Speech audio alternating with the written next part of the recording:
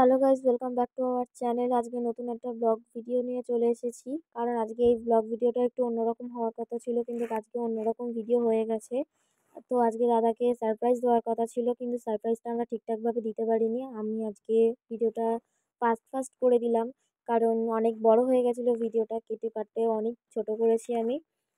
তো এখানে দাদা কে আনছে দিদি, আমি অনেক সারপ্রাইজ কিন্তু যেটুখানি সারপ্রাইজ দেওয়ার কথা ভেবেছিলাম, সেটুখানি আমি সারপ্রাইজ দিতে পারিনি। কারণ পুরোটাই বানচাল হয়ে গেছে। তোমরা দেখো ভিডিওর মধ্যে দেখতে পাবে যে কী কারণে আমি বলছি যে পুরো ভিডিওটা খারাপ হয়ে গেছে।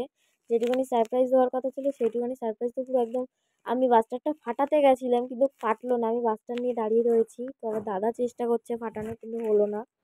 কারণ পুরোটাই মানে পুরো খারাপ হয়ে গেছে।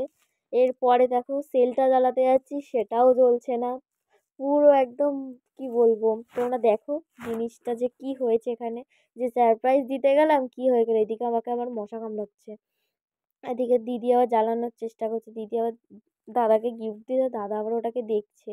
কিন্তু তাও হচ্ছে না। আমি ভাবছিলাম মনে হয় আমার গায়ের জোর কমে গেছে।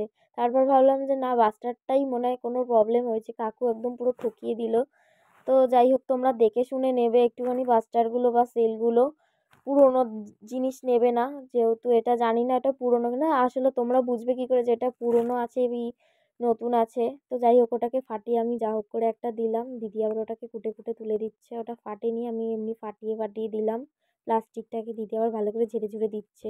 কত ভালোবাসে। তো এখানে দাদার বার্থডেকে সবাই দাদাকে হ্যাপি বার্থডে বলো। সবাই দাদার জন্য দোয়া করো আল্লাহর কাছে যেন দাদা ভালো থাকে। তো সবাই কমেন্ট করে বলে দিও দাদাকে হ্যাপি বার্থডে আমিও বলে দিচ্ছি দাদা হ্যাপি বার্থডে দাদা আবার কেক খাওয়াচ্ছে সবাইকে এইদিকে দিদি আবার মাস্ক পরে নিচ্ছে তাড়াতাড়ি, যাতে মুখটা কেউ না দেখে। তো যাই হোক, এখানে খাওয়া কেক খাওয়া খাওয়ি চলছে। দেখা যাক কী হয়। তারপরে লাস্ট ফিনিশিং এখানে আমরা বারমন্দির ঘাটে এসেছিলাম। তো তোমরা দেখতে পাচ্ছ আমি কি করছি। মনে হচ্ছে একদম নাদুস নুদুস মানে কি বলব এখানে? যেভাবে সবাই আমার দিকে তাকাচ্ছিল আর এখানে ভিউটা খুব সুন্দর ছিল। তোমরা দেখতে পাচ্ছ, খুব সুন্দর ভিউ ছিল। আর ওখান থেকে যেভাবে আমাকে দেখছে সবাই, ভাবছে কী না কী করছি আমি। তোমাদেরকে দেখাচ্ছি বলে আর আমাদের দিকে হাঁ করে তাকিয়ে রয়েছে। এদিকে দাদারা সবাই রয়েছে। দাদাদের হাই বলছি। আর কিছুক্ষণ পরে হ্যাপি বার্থডে এই যে তোমাদের দেখো, তোমরা দেখো হ্যাপি বার্থডে বলছি দাদাকে এতক্ষণ পর। কারণ তখন বলতে ভুলে গেছিলাম।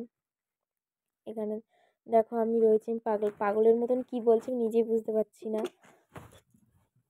পাগলের মতন কি বলছে আমি নিজেই বুঝতে পারছি না।